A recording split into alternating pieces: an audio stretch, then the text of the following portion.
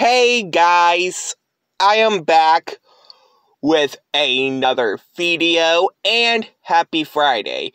So yes, today is the release date of WWE 2K24. Um, yes, I know I got the game two days ago in the mail, which I was supposed to get it on the release date for the the deluxe edition, but yeah.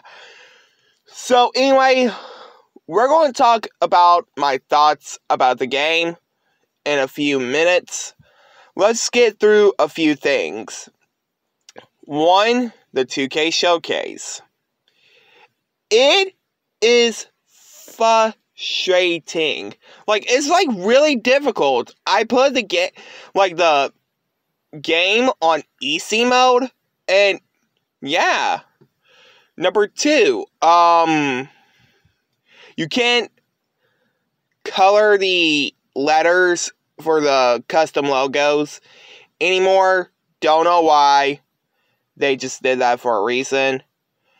Number three, you can add custom signs to the game. Number four, you can add your renders to the game like you we always do it since WWE 2K22. And three. So, what's my thoughts? Um, it's fun and good.